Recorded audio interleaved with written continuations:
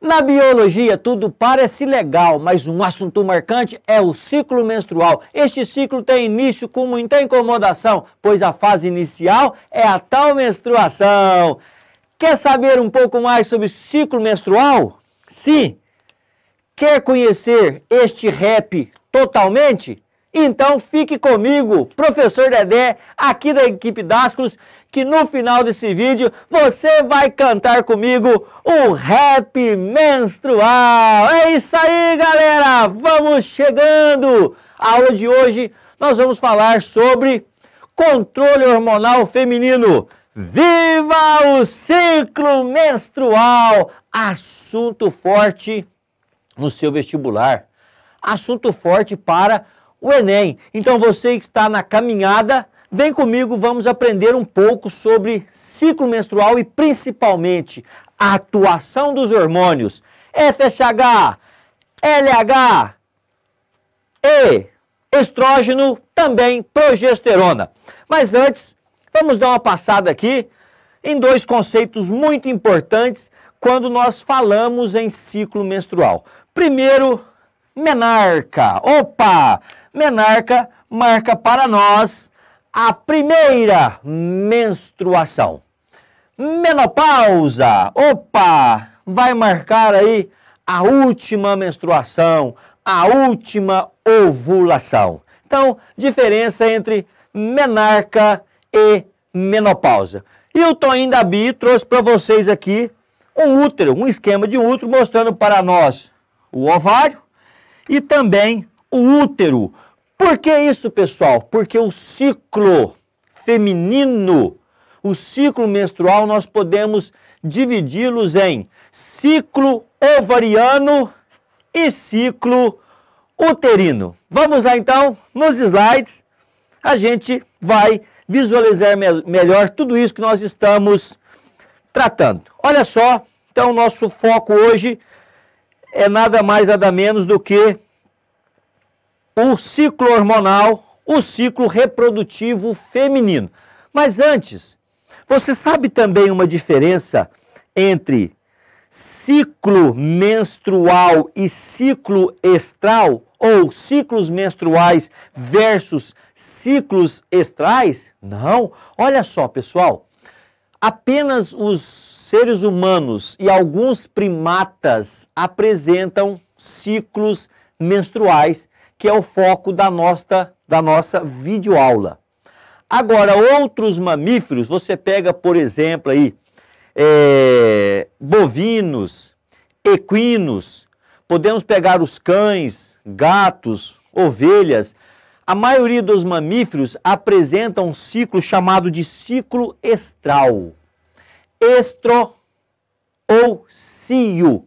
Você já deve ter ouvido falar que apenas é, a fêmea ela é receptiva ao macho no cio.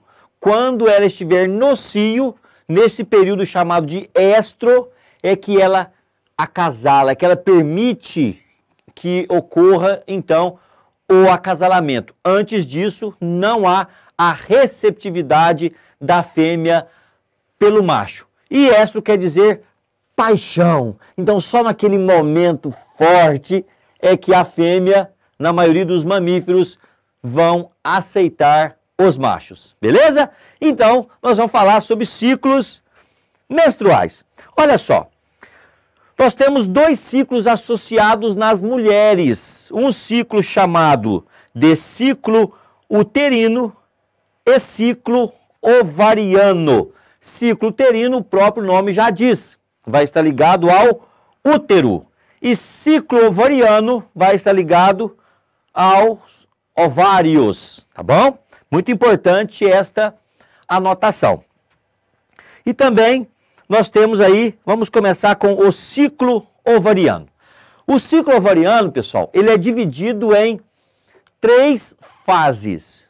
Nós temos aí a fase folicular, primeira fase, a ovulação e a fase lútea. Então, você que está aí, ó, garrado, foco no Enem, façam as anotações. O ciclo ovariano, ele divide em fase folicular, a ovulação, como também a fase lútea. O que, que nós podemos dizer de importante com relação a estas fases? Na fase folicular, nós vamos ter o amadurecimento do folículo ovariano. Nós sabemos que o primeiro dia do ciclo é o primeiro dia da menstruação. Beleza? Anote aí. O primeiro dia do ciclo menstrual é o primeiro dia da menstruação. Beleza? E o que, que vai acontecer então? Cada ciclo, um folículo ovariano amadurece. Chega na sua fase madura, na sua fase de maturação. E esta fase folicular, ela está a cargo de um hormônio chamado FSH, hormônio folículo estimulante. Hormônio este produzido pela adenohipófise e a adenohipófise foi estimulada por um hormônio produzido pelo hipotálamo. Já já nós vamos ver esse mecanismo de retroalimentação. Então, o hormônio folículo estimulante vai estimular o amadurecimento do folículo ovariano. Daí o nome de fase folicular. À medida que o folículo amadurece, ele vai produzir estrógeno. Beleza? Já já nós vamos ver as relações desses hormônios. Chegamos próximo à ovulação e vai ser liberado um hormônio, secretado um hormônio chamado LH, hormônio luteinizante. No 14 dia do ciclo, nós temos o pico do LH, do hormônio luteinizante. E o que que isso acarreta, professor Dedé? Opa, anote aí. Acarreta nada mais do que o rompimento do folículo maduro e a ovulação. A saída do ovócito secundário para ser fecundado, para ser fertilizado. Então veja, o FSH, o FSH, o hormônio folículo estimulante, estimula o amadurecimento do folículo ovariano. O LH desencadeia a ovulação. E após ovulação, forma-se o chamado corpo lúteo. Corpo lúteo. Daí a fase chamada de lútea, corpo lúteo ou corpo amarelo, que vai produzir progesterona e também estradiol ou estrógeno. Então, ciclo ovariano, fase folicular, ovulação e fase lútea. Muito bem. O ciclo ovariano também chama atenção para esse slide. Vem cá. Olha só, a fase folicular, nós temos então o folículo em desenvolvimento. Muito bem. À medida que esse folículo amadurece, ele vai também produzir estrógeno. Aí nós temos o processo da ovulação, que é a segunda etapa do ciclo ovariano. A ovulação é a saída do ovócito secundário para ser fecundado. E aí, o que sobra do folículo por ação do hormônio LH se transforma no corpo lúteo ou corpo amarelo, que vai ser responsável pela produção de progesterona e também de estrógeno. E com, se não houver a, fecundação, este corpo lúteo ou corpo amarelo ele regride, formando o que nós chamamos de corpo albicans. E aí um novo ciclo vai reiniciar, beleza? Então falamos do ciclo ovariano. Muito bem, muito bem, muito bem. Agora passamos para o ciclo uterino, que vai acontecer onde? No útero, pessoal. Útero sofre grandes modificações durante o ciclo menstrual. Uma das modificações importantíssimas é o desenvolvimento, o espessamento do endométrio, a camada mais interna do útero. E o espessamento do endométrio ocorre devido à participação de dois hormônios, estrógeno e progesterona.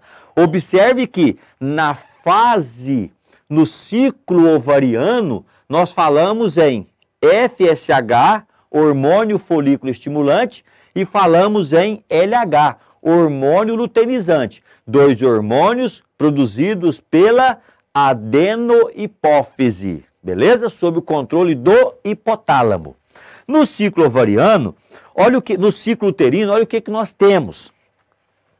As fases de menstruação, as fase, a fase de crescimento, a ovulação por volta do 14º dia, a fase de secreção e novamente a menstruação. Um ciclo menstrual normal, ele tem em torno de 28 dias. Ciclo regular é um ciclo normalmente de 28 dias. E aqui nós vamos comparar o ciclo ovariano com ciclo uterino. Então veja, o primeiro dia do ciclo é o primeiro dia da menstruação. Está aqui? Muito bem. Acabou a menstruação, que é a descamação do endométrio, porque o útero estava preparando-se para uma futura gestação que não ocorreu. Então, aí a descamação do endométrio. Certinho, pessoal? Então, logo em seguida, nós temos, então, o, o endométrio iniciando um processo de espessamento. Esse espessamento ocorre pela atuação do estrógeno, produzido pelos, pelos ovários. O estrógeno vai produzindo, o ovário vai produzindo estrógeno e aí o endométrio vai espessando-se. No 14 dia do ciclo ocorre a ovulação, beleza? Que é a segunda fase do ciclo ovariano. E a formação do corpo lúteo. E o corpo lúteo, ou corpo amarelo, vai produzir estrógeno e progesterona. Progesterona intensifica o espessamento do endométrio, aumenta o aporte de sangue, ou seja, a vascularização, a formação de glândulas armazenadoras de glicogênio. Então nós falamos que o hormônio progesterona, ele intensifica o espessamento do endométrio. Beleza? Que é a fase secretora. Então nós temos a fase de crescimento, a fase de crescimento ela é também chamada de fase proliferativa. E ela bate com a fase de, de fase folicular. Guarde bem isso. A fase proliferativa do ciclo uterino, ela bate, ela é coordenada juntamente com a fase folicular. A fase secretora, ela é coordenada com a fase lútea. Olha só para você ver, com a fase lútea. Formação do corpo lúteo, o corpo amarelo. Então, essa relação ela é muito importante para nós, tá bom? Em conjunto, veja só, fase folicular, fase proliferativa, fase lútea, fase secretora, porque nós temos a secreção, a produção de estrógeno e progesterona após a ovulação numa concentração, vamos dizer assim, maior. Depois nós temos aqui um esquema mostrando para nós os hormônios atuantes neste ciclo menstrual. Por isso nós falamos controle hormonal feminino, Viva o ciclo menstrual! Olha só. À medida, nós temos o FSH e o LH, são dois hormônios gonadotróficos. São hormônios que vão estimular as gônadas, no caso aqui os ovários, beleza? O FSH e LH são dois hormônios produzidos pela adenohipófise, são chamados de hormônios gonadotróficos. Eles vão estimular as gônadas. No caso aqui, estamos falando dos ovários. Beleza? Observe que no 14 dia nós temos a ovulação. A ovulação ela bate com a maior concentração de LH. E observe que após a fase ovulatória, ovulação, eu tenho um aumento na concentração de progesterona. Então é muito simples, desde que você guarde que após a ovulação, o hormônio que vai estar em maior concentração vai ser o hormônio progesterona. produzido pelo corpo lúteo. E lembrando que estrogênio e progesterona são hormônios produzidos pelos ovários. Repito, estrogênio e progesterona são hormônios produzidos pelos ovários. E aí nós temos a fase folicular, a fase ovulatória e a fase lútea. Isso aí caracteriza o ciclo ovariano. Bom, foco neste gráfico aqui, que é um gráfico que cai demais, né? nos vestibulares. E aqui eu caracterizo um gráfico em que não houve fecundação, porque os níveis dos hormônios no final do ciclo é semelhante ao início do ciclo. Então, com esse gráfico, eu posso afirmar que não houve a fecundação. Muito bem, muito bem, muito bem. E aí nós chegamos num aviso muito importante. Vamos fazer essa relação a fase folicular do ciclo ovariano é coordenada com a fase proliferativa do ciclo uterino, como eu disse para vocês anteriormente. Fase folicular, FSH, beleza? Com a fase proliferativa, estrógeno. A fase lútea do ciclo ovariano, hormônio LH, é coordenada com a fase secretora do ciclo uterino, ou seja, uma maior produção, é, liberação de estrógeno e principalmente progesterona. O aumento de progesterona ocorre após ovulação devido à formação do corpo lúteo. Não podemos perder esse raciocínio. E aí nós podemos aqui mais uma vez comparar tudo isso, né? O ciclo uterino com o ciclo ovariano. E o processo chamado de retroalimentação, que é muito importante. Olha só, o hipotálamo produz o hormônio regulador dos hormônios gonadotróficos. Então, o hipotálamo regula a hipófise anterior por meio do GNRH, hormônio regulador do hormônio gonadotrófico. A hipófise, então, produz LH e FSH, hormônios gonadotróficos. Hormônios estes que atuam nos ovários, beleza? Ao atuar no ovário, no ovário, produz então progesterona e estrógeno, hormônios ovarianos, beleza? E esses hormônios, progesterona e estrógeno, atuam onde? No útero, daí o ciclo uterino, o espessamento do endométrio, preparando o útero para uma possível gestação. Caso não haja a fecundação, há a descamação do endométrio, processo chamado de menstruação. Nós temos aqui um feedback positivo nos dias anteriores à ovulação, mas nós observamos um feedback negativo em grande parte do ciclo, principalmente ocasionado pelos hormônios progesterona e estrógeno, que inibem o hipotálamo e a hipófise a secretarem FSH e LH. Por isso que quando eu tenho uma queda nos níveis de estrógeno e progesterona, a hipófise e o hipotálamo que estavam inibidos voltam a secretar os seus hormônios e um novo ciclo é reiniciado. Então a retroalimentação ou feedback está aí presente nesse controle hormonal dentro do ciclo menstrual no ciclo feminino. Beleza? E aí, agora nós vamos terminar a nossa paródia. É, paródia de biologia chamada aí o rap menstrual, que é guardar tudo isso que nós falamos, qual hormônio, onde atua, o que que faz. Acompanhe comigo o rap menstrual com o professor Dedé aqui do Dascalos. Vamos lá! Na biologia, tudo parece legal, mas um assunto marcante é o ciclo menstrual. Esse ciclo tem início com muita incomodação, pois a fase inicial é a tal menstruação.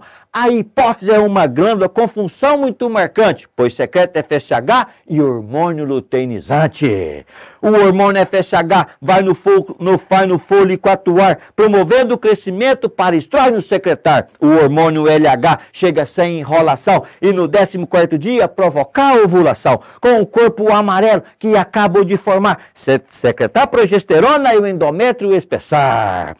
A fecundação não ocorre nem no útero e na vagina, ela vai ocorrer lá na tuba uterina. A fecundação não ocorre nem no útero e nem na vagina, ela vai ocorrer lá na tuba uterina. É isso aí, pessoal. Rap menstrual aqui do professor Dedé. Guarde bem esse rap, assista essa videoaula, beleza? E ó, se você gostou, deixe o seu like.